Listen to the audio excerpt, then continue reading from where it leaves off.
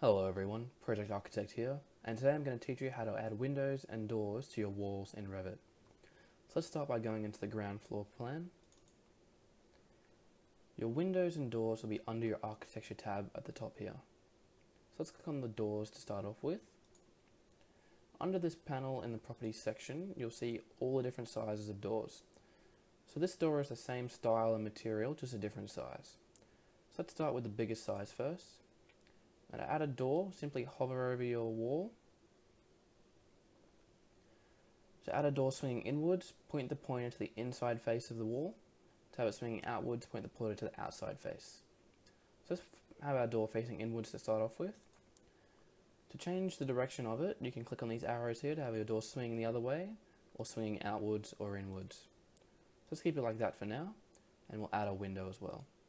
So click on the windows at the top here, and the same situation with the windows. These windows are all the same material and style, just different sizes. So let's click on the biggest window as well. Now the important thing with windows is to watch out for the sill height. So the sill height is the height of the bottom where the window starts. So let's make that 500 now. Apply. So your head height here is your sill height plus the height of your window. So let's add that window in, and same situation with the door. If you point it towards the inside face of the wall, it'll face inwards, and the outside face to face outwards. With most windows, it's better to face your windows outwards, because that's the most normal thing to do. So we'll click OK for that, and we'll add another one just down here.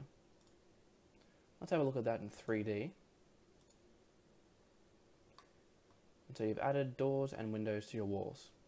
Now to change the material of that door, you have to go into the Edit Type profile Usually it's best to duplicate your types and make a whole new one entirely, so let's just make the same size, just version 2. To change your materials, you go down to the materials and finishes here. Click on that, and you can change the material of the door to anything you want it to be. So let's choose a nice steel chrome plated. Okay. And that's the door material, and we'll make the frame material something a little different, possibly a copper or a cherry wood. That sounds better. Cherry wood, click OK, and that'll change the door material. The same thing can you can do with windows, changing the glass, changing the transparency, and everything like that. Thank you guys, this is Project Architect. I'll see you next video.